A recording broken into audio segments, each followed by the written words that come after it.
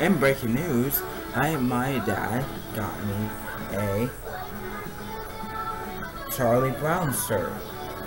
I'll show you how it works.